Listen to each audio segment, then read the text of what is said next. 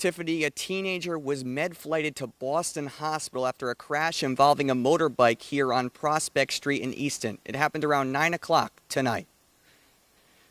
We saw a seriously damaged motorbike and a banged up SUV at the intersection of Prospect and Heath Road. Easton's deputy chief tells ABC6 a 19 year old on the motorbike was med flighted to the hospital to be treated for serious injuries. The occupants of the SUV were not injured, and officials say state police have been called in to assist with the investigation.